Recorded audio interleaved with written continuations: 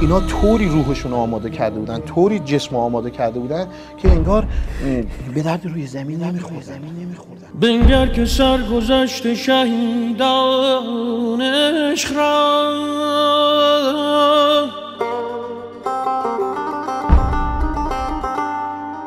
بر برگ گل به خون شقایق نوشتن